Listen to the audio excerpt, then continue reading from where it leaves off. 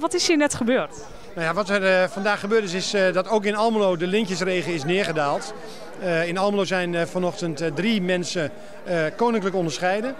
voor hun belangrijke verdiensten voor de samenleving op het vlak van de kankerbestrijding en het onderzoek daarnaar.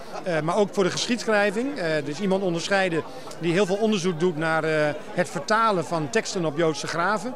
En er is iemand koninklijk, onderscheiden die in de afgelopen decennia heel veel werk heeft verzet bij het, het bergen van in de Tweede Wereldoorlog oorlog neergestorte vliegtuigen. Gefeliciteerd, u heeft een koninklijke onderscheiding gekregen. Wat vindt u hiervan? Ja, ik was natuurlijk super verrast en ik ben erg blij met de onderscheiding, maar ook met de mooie woorden van de burgemeester. Ik vond het een heel mooi, omvangrijk verhaal. Doet me goed. Eigenlijk zijn onderscheidingen iets wat ik normaal gesproken regel voor anderen. Dat ik er vandaag zo eentje krijg is voor mij echt een, eh, een hele grote, fijne, mooie verrassing.